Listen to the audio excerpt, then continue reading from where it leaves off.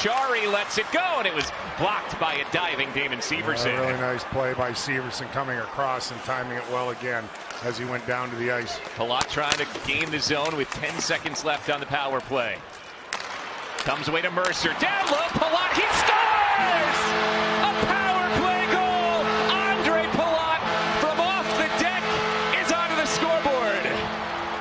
Always seem to answer. They've done it time and time again this year as the penalty's winding down. Nice little play from Mercer. He gets to the middle of the ice. He's surrounded, but he shows the poise and patience to stay with that puck. He got hooked even and find Palat in behind the Leafs penalty killers, and he stays with it.